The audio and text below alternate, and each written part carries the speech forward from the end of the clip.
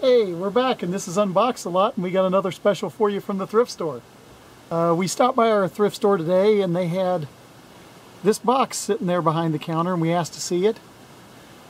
They let you look inside to see if it's, yeah, it seems like most of it's there and it did seem like most of it was there. We could tell it was missing this horse and the gambler. But we figured we'd give it a try. It looked like it had a lot of pieces there and we got it home and built it and guess what? It was almost complete. Uh, it's it's a really nice set. This is 6755, the Sheriff's Lockup. It's from 1996. It's like the Wild West series with uh, Fort Legoredo and others. We're big fans of that set series. So here's what we got. It's got a nice little sheriff's office and the jail is over here. Has the wanted sign. The barrel, everybody has some guns. We had the sheriff. We have this other other Wild West guy here. We have this guy. He's supposed to have a, a neckerchief or a handkerchief around his neck like that. That wasn't included. And we substituted this guy out of our own collection. It has the top hat and the gun, but the rest of it isn't right. And I'll show you in a minute the gambler that's supposed to be in there. But if you look, it's a pretty cool set. It's got the gambler's chair over here leans back. And I'm going to take it out and show you that uh, there's a uh, full house here in the cards. So we have the cards. The table's pretty cool and has uh, a thing underneath it where you can put the money. There's a safe.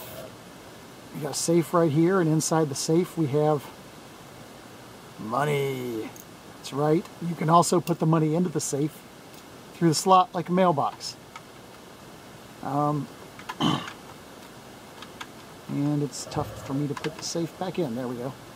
Now, uh, like I said, it, it's uh, we got a horse here. We've got a couple long guns, and this guy has a long gun. We got three guys with pistols. It's a uh, it's a really cool set. We had a lot of fun building it. Uh, we really like these Wild West sets. Now, this gambler is not the appropriate piece. If I show you the instructions, which it also came with, he's supposed to be this guy here with the gray leggings and the green shirt.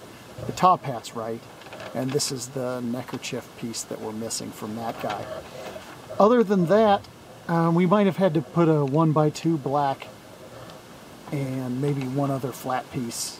Um, uh, one by 2 black and another flat piece. But other than that, it was pretty much complete. We were overjoyed to see that. It was uh, whatever $8.99 minus 25% is, was what we paid for it.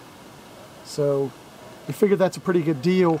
Your harder pieces to find are these sheriff windows here and this sheriff thing that says sheriff. This is actually two bricks with a sticker holding them together, so you got to be careful if they're facing the other way and not rip them apart because you'll rip the sticker.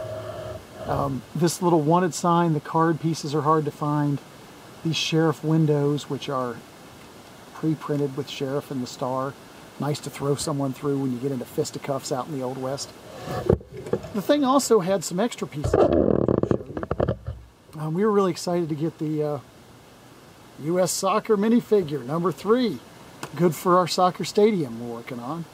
And this is another of the, the soldiers we need for Fort Legoredo. Someday we're going to get enough pieces together to build our Fort Legoredo, and then we'll have this cavalry uh, banner for them to fly. So anyway, just showing you what we picked up at the thrift store today. We're really excited because we love these Wild West sets and we're going to keep getting them when we can, particularly for nine bucks or about seven bucks, I think, with the discount and then tax. So this is Lego 6755.